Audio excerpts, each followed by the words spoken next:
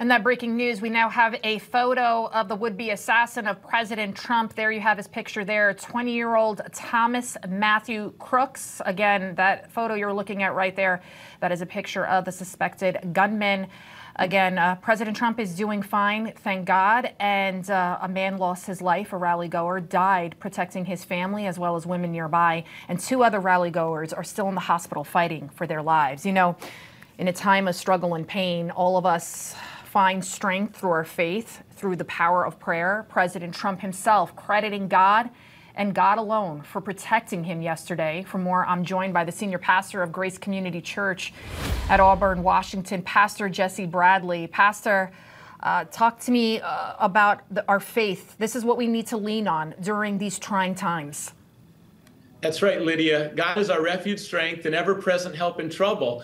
And yesterday's violence was terrible. My kids asked me, Dad, what just happened? And I had to explain to them about the attempted assassination and the loss of lives.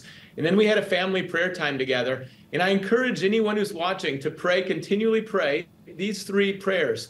First, for protection. We need God's protection. Pray for all of our leaders and even the Lord's Prayer. Protect us from the evil one. Second, pray for peace. Now, we have a lot of worry right now. There's a lot of tension. There's even hatred. We need peace. Jesus is our peace. God doesn't run out of peace. Peace is relational. And that leads to the third prayer God's presence. Our national motto is In God We Trust. That can't just be lip service. That can't just be going through the motions or checking a religious box.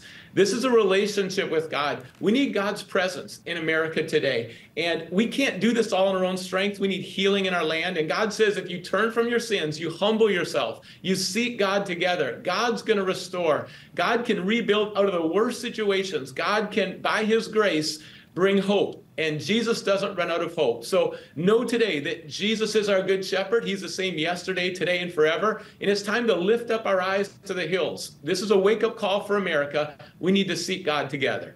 Should we pray for our enemies? Yes, Jesus on the cross, as he died for sins before his resurrection, he prayed, Father, forgive them, for they, for they know not what they're doing. And we pray for everyone to turn to God. In Joel chapter 2, verse 12, God gives a clear word, even now, not down the road, not procrastination or excuses, even now, return to me with all your heart. And we never give up on people because God never gives up on people. Even on the cross, there was a criminal who put his trust in Jesus before his final breath. And Jesus said, Today you will see me in paradise. So let's be part of the solution. Let's stand up with courage. Let's be united. Again, reject hopelessness. Choose God's hope. And there's no limits to what God can do. The story's not over, but we need to be intentional, prayerful. And just like the Bible says, love your neighbor as you love yourself. Love God with all your heart.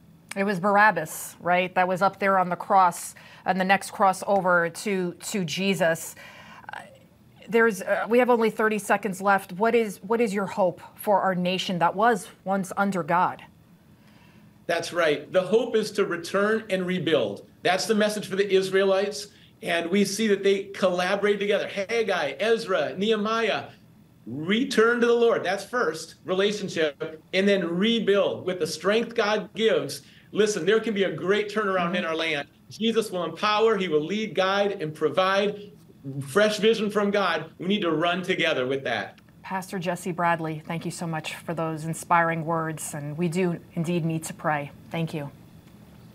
Thanks, Lydia. Well, do not be afraid.